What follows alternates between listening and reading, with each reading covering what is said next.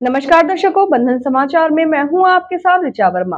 खबर चिला बिजनौर के चांदपुर से है, जहाँ से हम आपको दिखाते हैं हमारे संवाददाता एसपी गुप्ता की खास रिपोर्ट। चांदपुर नगर में ओयो नामक संस्था के खुलने से लड़के एवं लड़कियों के मिलने का चलन बढ़ता जा रहा है। लड़के व लड़कियाँ घर से झूठा बहाना लेकर ओयो नामक होटल में आते हैं और खुलेआम वार्तालाप करते हैं।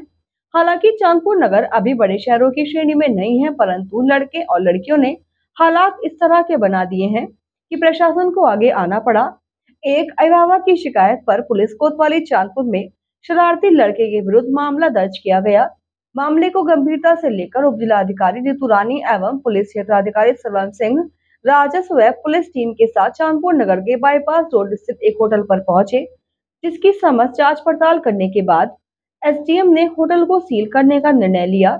एसडीएम द्वारा होटल पर सील लगा दिए जाने पर नगर में यह बात आग की तरह फैल गई। आपको बता दें कि चार माह पूर्व बाईपास रोड स्थित एक होटल पर बास्ता ग्राम के एक नर्सिंग होम पर कार्य करने वाले लैब संचालक सलमान को दूसरे धर्म की लड़की के साथ पकड़ा गया था। होटल पर लड़की पक्ष के लोगों ने खूब हंगामा किया था, जिसमें पुलिस ने मामला दर्ज किया। फिर भी इस तरह की घटनाएँ रुकने का नाम नहीं ले रही हैं।